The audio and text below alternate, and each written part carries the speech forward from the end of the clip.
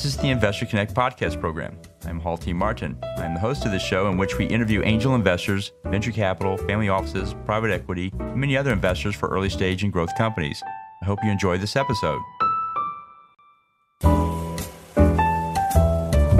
Investor Connect is a 501c3 nonprofit dedicated to the education of investors and startups for fundraising. Please consider donating $100 to the program to help others in their investor and entrepreneur journey. You can find the donate button on the investorconnect.org website. Hello, this is Hall Martin with Investor Connect. Today we're here with Alexander Borschow, managing partner at Semillero Partners. Semillero Partners is an early stage venture capital firm investing in purpose driven sustainable food and food tech companies. Alexander, thank you for joining us. Thanks for having me, Hall. It's great to be here. Great. Well, tell us more about your background before investing in early stage companies. Yeah, so uh, I guess um, my background, I was trained actually as a chemical biological engineer at MIT, so definitely not a traditional background for investing. But uh, uh, then I spent six years in banking uh, at BNP Paribas learning about investments and more importantly, how to build long term relationships, primarily with institutional clients. And uh, it was a great experience, learned a lot, traveled. Um, and, uh, you know, the, the thing that was I was most passionate about was food and sustainability and environmental conservation. And and um, that's why I decided to go back and get my MBA at MIT Sloan, which had a really strong program in sustainability. Uh, that's when I started investing as an angel investor. And uh, when I uh, finished there, I was a director of finance at Eataly. Uh, got some great operational experience working with a fast growing startup. And, and uh, that's when I uh, was invited to join as a founding partner for, for Semillero. Great. And so, what excites you right now? So, it's, it's been really exciting to see the amount of interest globally from investors, from consumers looking at uh, sustainable food and food tech, how they can eat more sustainably. They want greater transparency, knowing where their food comes from, the rise in alternative proteins, everything from plant based alternatives to cultivated meat to fermented meat. Uh, this is uh, really driving a uh, increased awareness and conversation about how our food and our food uh, system impacts the world we live in. Because if you think about the food industry globally, it's responsible for about a third of global greenhouse gas emissions, and everyone's really aware these days about uh, climate impact. And, and I'm actually excited that food, the food industry, is uh, front and center in how uh, not only consumers but investors can be making an impact and driving dollars and awareness to things that can really move the needle. So that's uh, what's really exciting me now. Great. Well, you see a lot of startups and a lot of investors in your sector. What's your advice for people investing in sustainable startups? What do you tell them to do before they write that check? Yeah, there's a there's a lot of excitement, and I, will use the word hype a bit around valuations and funding rounds, and this great PR. And what I would say, you know, it's all about people, uh, especially startups, right? You're investing in people that are going to be executing and and leading, right? And uh, unless you plan on stepping in and doing their job, you've got to really do a lot of diligence around people, and that means talking to uh, former employers, former uh, uh, employees or people who reported to them, uh, talking to not only customers but also uh, vendors and suppliers. Um, and I would really recommend them on just looking for great people that are humble, coachable, but ambitious and with a big vision. Um, and we really talk about coachability as being a key factor in, in, when looking at people and how we evaluate people. And then the second thing is looking for great businesses that are really purpose driven. And I say that because it's kind of an overused trope uh, talking about a, uh, a ambitious or, or, passionate founder, right? Word passionate gets thrown around a lot. We, we, we think that purpose driven uh, founders and teams are, are, really the ones that are going to be making the world a better place. And, and that's a, a key um, kind of check mark for us because it's not just about trying to make a better flywheel. It's really about thinking about how we can improve uh, the world for all stakeholders. Great. And on the other side of that table, what's your advice for people running startups in the sustainable food tech area? What do you tell them to do before they go out to raise funding? Yeah. So um, I'd say the the number one thing is be authentic, right? Uh, don't try to oversell. As an investor, you know we see a lot a lot of pitches and a lot of hockey stick J curve growth curves. Um, the ones that I am most interested in are the ones who are more authentic and realistic and and honest and sober about where they are, where they're going, and, and how they're going to get there. Um, and also the ones that ask questions. They're, they're not just trying to I recommend not trying to share and put as much information out on the page. I, I really like the the uh, those entrepreneurs that ask questions and are curious and open, um, and uh, really are thoughtful about uh, the, the, feedback that they get. So, you know, in my world, you know, an example is you know, what kind of value you're creating. Really, it's not about getting your groceries in 50 minutes. That's not really making the world a better place. But how you're thinking about impacting the way food is produced, um, uh, the way consumers uh, experience their food, and uh, the way consumers are educated about where their food comes from. So those are kind of the things that uh, I advise founders and entrepreneurs to think about when they're communicating to investors. Great. And so let's talk about the state of investing in food tech companies. Uh, what do you see happening here? How is the industry evolving? You know, 2021 was really a, uh, a breakout year on top of a breakout year. So we saw all time highs in terms of uh, investing in food and food tech. You saw, uh, you know, billions of dollars invested across early stage, and now you're seeing growth stage companies and even late stage companies. Uh, we're all familiar with Beyond Meat. Beyond Meat's IPO a couple years ago really put plant-based alternatives on the map. There are hundreds of companies now that have seen that model be successful and, and are following in their footsteps. And that's really leading about the next wave of innovation in plant-based innovation.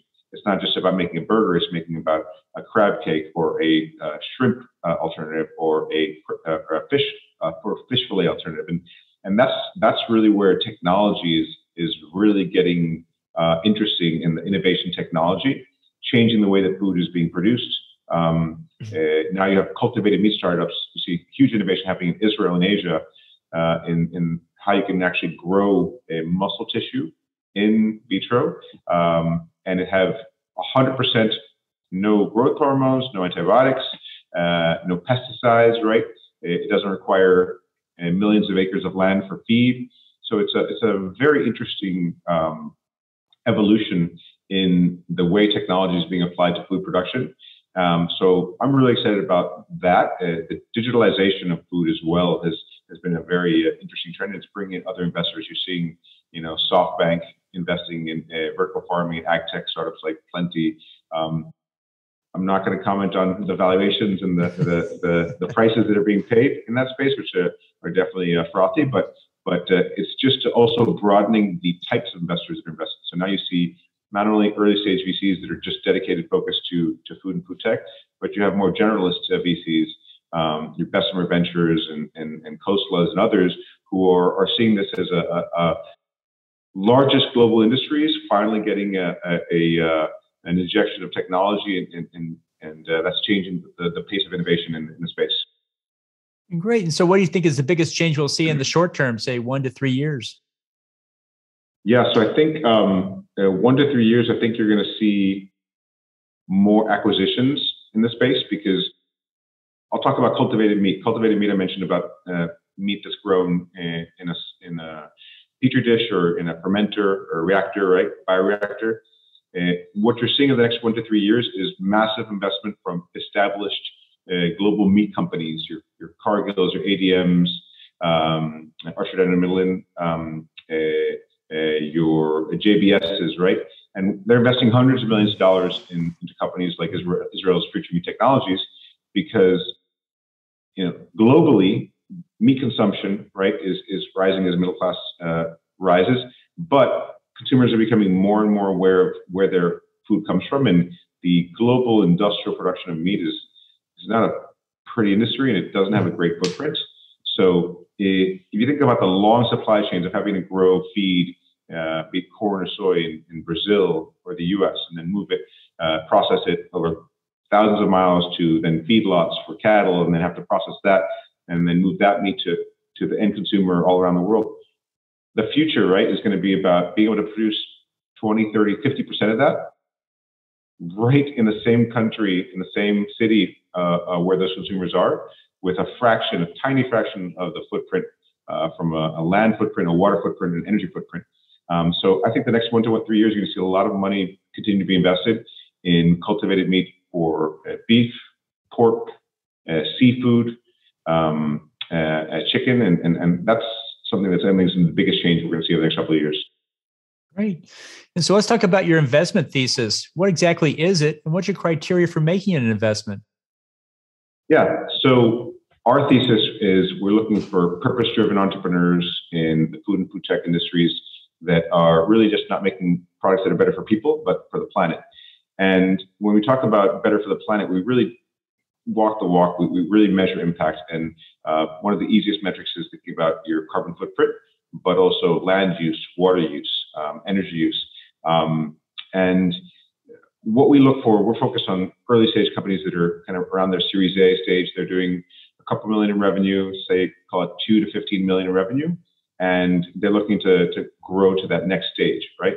And we're pretty uh, selective in the companies we invest in. We're not high volume investors. We're more low volume, high touch investors. So we really look for building relationships with founders that value our input and our expertise and our, our partnership more than the capital that we're bringing on board. And, and that takes time to develop. So that means that, you know, we don't have one intro call, maybe one follow up and, and then write a check. We tend to get to know companies and entrepreneurs over a period of many months, if not years. And that means getting to know them early. That means getting to know them when they're raising their seeds or pre-seed rounds, uh, getting to see how they communicate with investors, how coachable are they, how uh, curious and open uh, are they, how, how many questions do they ask, or are they just asking, uh, just sharing information. Um, and when we look at companies, we're looking at companies that are going to be growing somewhere, their revenue somewhere around 10x uh, over the next three to five years. Um, that's kind of a good multiple. And it's very important to work with companies that we're aligned on the plan of that subsequent round of funding because that's an important uh, milestone of, survivability and success in early stage companies is how do we make sure that we hit the milestones to make sure you get the capital you need uh, for the next round of funding great and can you talk about one or two startups perhaps a portfolio company that fit that thesis yeah, um, I, I, definitely can. So uh, we uh, we invested in a company out of uh, Colombia. Uh, we're actively looking at Latin, startups in Latin America called Robin Food. Robin Food is the largest cloud kitchen restaurant company in Latin America. They have operations in Colombia, Mexico, Brazil, and uh, founded by previously successful entrepreneurs with exits in, in the food tech space and, and, delivery space. And, and when we think about when we met uh, Jose, the founder, you know, we we were introduced and got to know them. We had a couple of conversations. More importantly, we saw that uh, there was a consistent execution uh, of what he said he was going to do. So when you think about the growth that he was expecting, the new stores that they were opening, right? Uh, he consistently communicated expectations in a, a, realistic way and then met those expectations. And um, the mission of Robin Food was about uh, making healthy, fresh food available and affordable to all. Uh, so that's a, a, really interesting mission because it's not just about being healthy and fresh for people, but also about using sustainable packaging, increasing the consumption of um, uh, vegetables and plant-based uh, foods in the diet. So, um, you know, working together, we saw okay, they were when we started, they were doing about uh, five, six hundred k a month in revenue.